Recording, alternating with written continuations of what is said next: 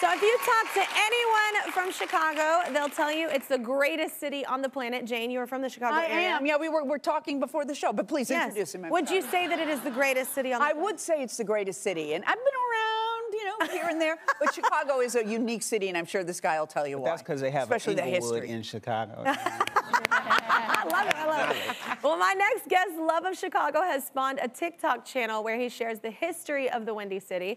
It's become so popular that he's now giving tours, and it's even caught the attention of the mayor's office. It's so cool.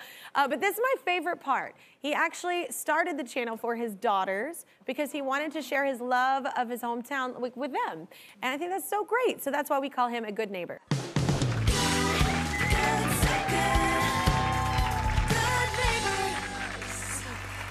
So good. I like that part. Please welcome Shermann Dilla Thomas, y'all. well, meet everybody. I got a full couch. Hey, you? I love it. I was telling you this before, but I love that you started this for your daughters. That's so cool. Yeah, absolutely. Yeah. Thank you. Thank like, you. what sparked it? Why did you start it? Where Well, it's exactly like you're saying. I did it for my daughters, right? Especially my eight-year-old Bailey. She wanted to be TikTok famous, right? Do all the little Yeah. dances.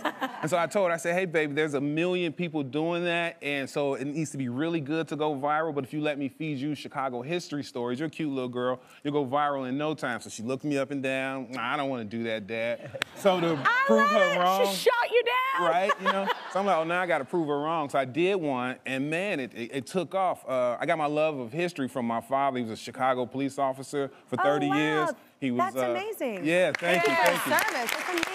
So he, he was uh, famously one of Mayor Harold Washington's bodyguards, and a lot of Chicago luminaries in that detail. But he loved history and kind of shaped how I view the city. So I'm hoping that I'm passing that on to my kids and others. Well, you definitely made it cool now. Like that, she just showed her. You're Right. I went viral.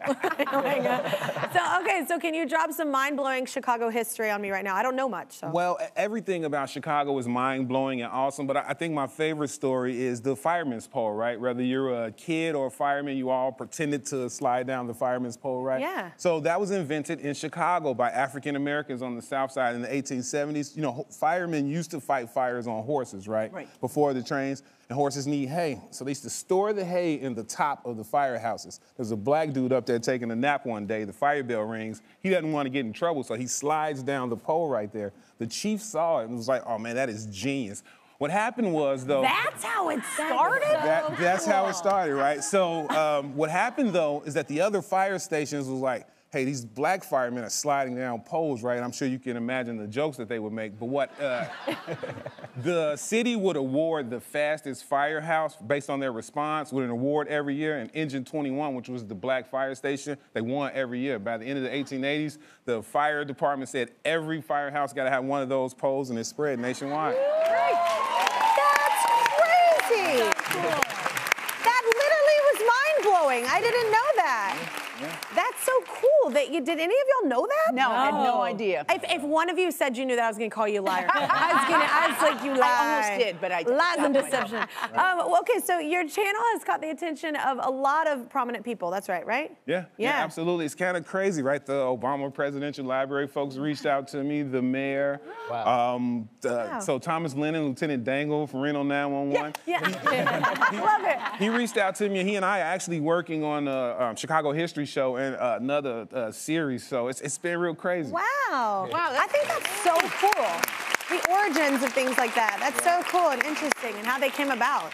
Um, well, so you have goals that go beyond the channel. So what are they? Uh, well, I think in a lot of spaces, people don't understand the histories of the space that they come from, right? And so I think that's part of the problem with Chicago. If you look on the news, we get a, a national black eye. It's hard to come through the city and not be affected by like crime and those type of things, but we're a city of second chances, right?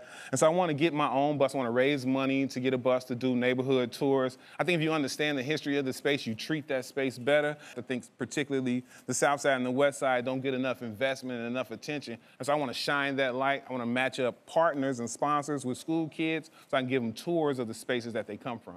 Man, it's brilliant. Like, especially I can see how the mayor would love that. Because it's brilliant for tourism as well. People will want to come if you're like, like I just heard that story and I'm like, well, what else is there about Chicago? I didn't know. Like that, it makes it really interesting that everybody wants to learn about that place and it Mm-hmm. promotes money. But you know, for, for that, you know, monetarily speaking, that's great for the community as well. It promotes all of that. I think that's so great and so smart. I hope more people start doing this in their community. It's Yeah. so cool, Yeah, yeah. thank you. To really know the background. And I think historical perspective is so important, especially for kids in, you know, I'm from the South Side. Right. Um, yeah.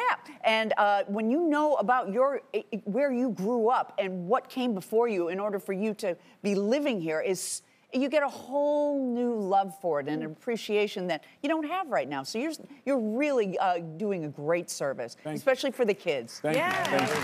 Really great opportunity. That's the biggest thing, I think. Well, we love what Dilla's doing for the city of Chicago. So to help you expand everything you're doing, we're going to give you $5,000 just to help out.